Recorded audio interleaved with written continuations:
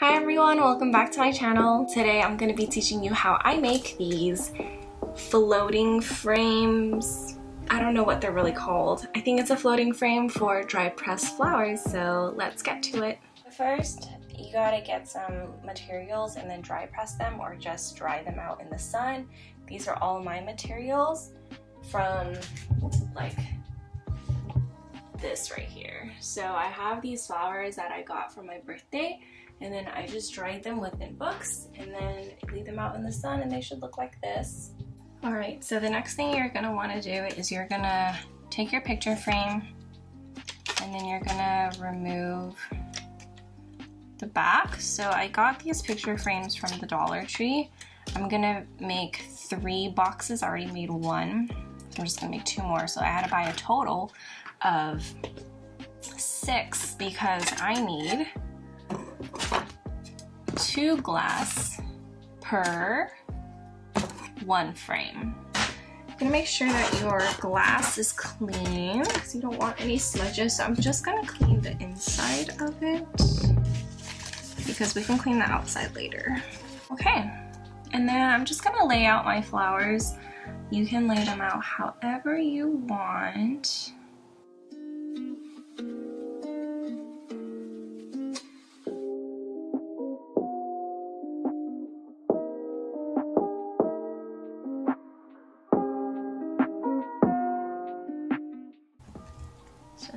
Can see this is what I have. It's just kind of laid out like this and I'm doing it from like, I'm imagining it, this is what it looks like from the back. And then you're gonna clean your second glass. And then, let's just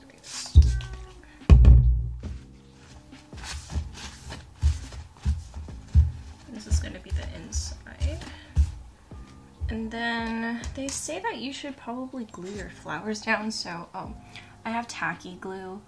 You can't really get this from the 99 cent store. I don't know if you can. Um, I have this because I do arts and crafts. And then just gently put like a little bit of glue. I say you should use tweezers too. I watch a lot of tutorial videos and kind of like gathered all that I received from them and made this video.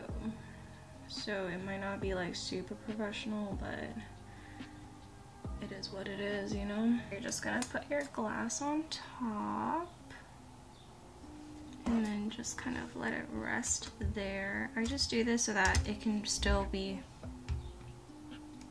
further pressed. Okay, next because the glass is gonna like slide a little bit because like these are cheap frames right? I put these little styrofoam backings and these styrofoam backings are to help um, the glass from sliding so that there's like no movement right? Because you don't want the glass to slip and fall. And I watched some tutorials some don't even put a second backing and I don't like that because these are dried flowers and I want to make sure that they're preserved nicely um, when you hang them. So no shortcuts here. Okay, so we're going to take these styrofoam backings that came with the frame and then we're just going to cut them into little slivers. And what's going to happen is that it's going to kind of create like more dimension. And you want to make sure that they're small enough so that they can like hide in the corners. So this one's a little too big.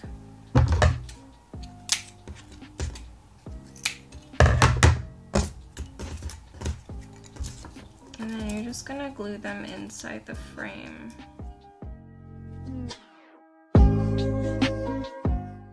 But I just realized that even if this glass cleaner is on it, it's not like completely flat. And so I didn't press I didn't press these flowers for too long. I just kind of let them dry.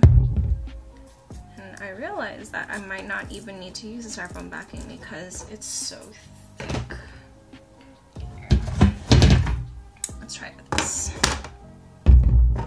Uh, oh, I'm missing so many steps. So before you do anything, you want to get your twine because you want to make sure that your twine is in before you do anything. So make sure that it's not completely like tight. You want to like kind of press your finger down so that the glass can go in. Otherwise the glass can't go in. Just keep it nice and loose around the corner, but you want to make sure not as tight.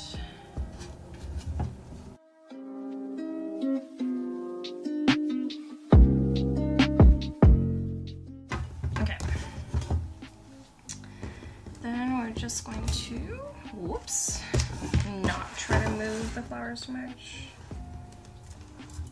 Okay, then, sure there was like a safer way to put it. Okay, let's revisit this. So instead, you should put the first glass down so that you don't run into this mess like me. Okay, yeah. So put the first glass down into the frame and then put the flowers in because this is a little bit not working out too well. But that is the beauty of art, right? You can never get it quite right the first time. All right, as you can see, it's a little bit floppy. I wonder if I can get away with securing it in.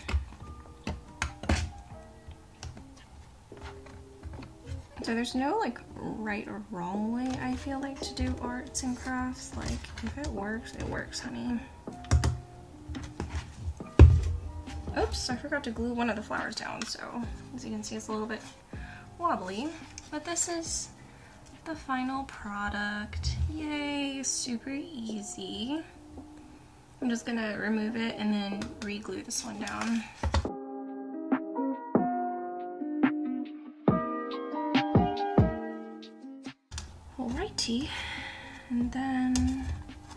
Just secure the black tabs back again. I know the black tabs will show because this is clear, but what can you do, you know? Don't really have much of a choice here if you want a clear background. Unless you do like an epoxy, epoxy, I don't know how to say that word. I've seen like a lot of like wood people use that. That's pretty cool. Okay, and then this is what it looks like, and just shake it around. If the glass doesn't shake, then that's a good sign. I'm just going to glue the glass a little bit on the sides just so that it doesn't accidentally like fall apart because we don't want that to happen. But there's like a little bit of a gap here. I think that's fine just because honestly my flowers are not completely dry anyway. Um, and maybe that's bad, but I think I'm gonna put this frame out in the sun for them to dry a little bit more and then like you know it can escape the, the moisture so that it can completely dry. Alright, so I just put a little bit of glue around the edges. And then there's still some glue that needs to dry here. But I think after it dries it should be okay. See, art is not perfect. I know a lot of these like DIY YouTube channels make it seem like everything is perfect, but honestly, like, my art never is. So there you have it. Okay. And then we're gonna move on to the next one. Two down. We have this one that I glued. Okay. So this one, you know, 99 cent store stuff. It has little bit of like residue. I'll figure that out later.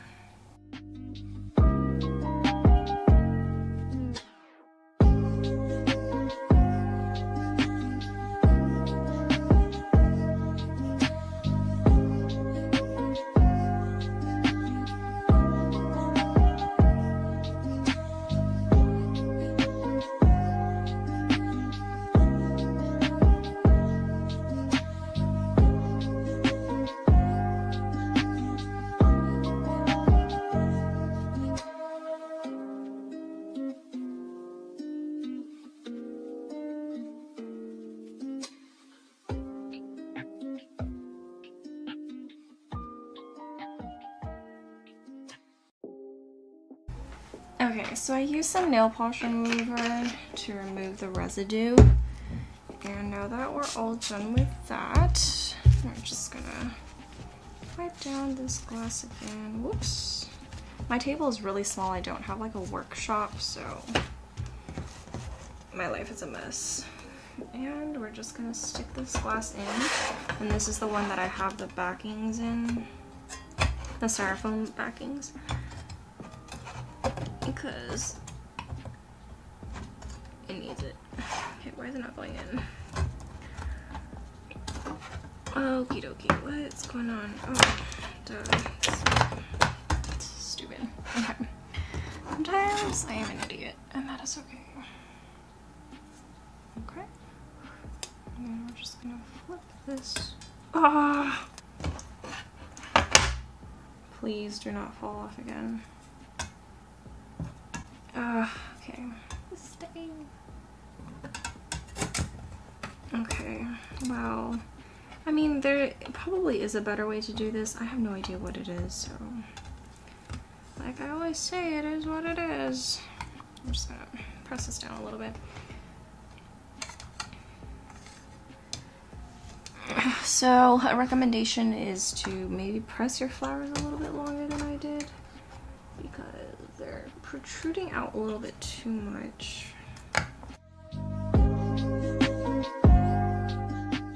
Okay. So here I needed the styrofoam backings because um, the flowers were thinner. So yeah, so you can see that the glass isn't like completely like touching the top, which is good because I still have the styrofoam backings that are kind of like lifting it up versus the other one because this flower was so thick. Like my glass over here, oops, my glass over here is like like protruding out like on the side. So I'm just gonna press this down, this one down a little bit more with the glass cleaner, but you don't wanna do it too much on the edges because I don't want the glass to crack either, so yeah. So there we have it. This one's a more delicate piece.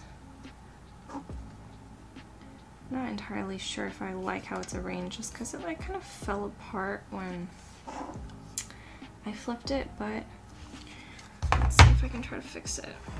Actually, you know what? No, I'm not to mess with it because the glue residue is on there.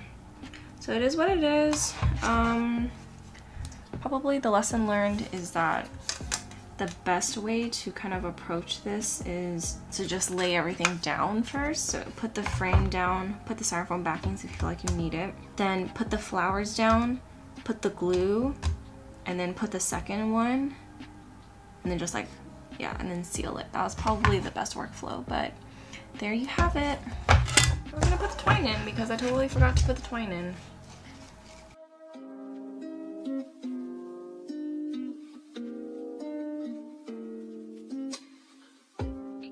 The thing with art is you learn how to just give up on perfection, you know? Like, art is not meant to be perfect.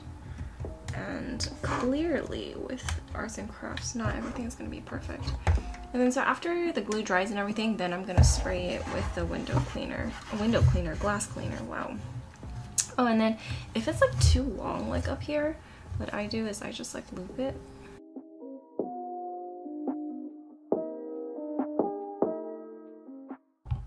And then there you have it. The second one, or the third one, sorry. Wow, I'm a mess, okay. Um, arts and crafts is definitely not like easy, especially if you're doing it like DIY like me, but this is what all three look like. And then before you give them, make sure that like they're kind of wiped down with window cleaner. Yay! So I hope that you enjoyed this tutorial because life is just so unexpected and you never know what is going to happen with your art. And you just gotta let it be you know? Happy little mistakes. So uh, I hope that this was enjoyable and informational. And I hope that you know if you make them that you also make mistakes and you learn from them so thank you for watching and happy DIYing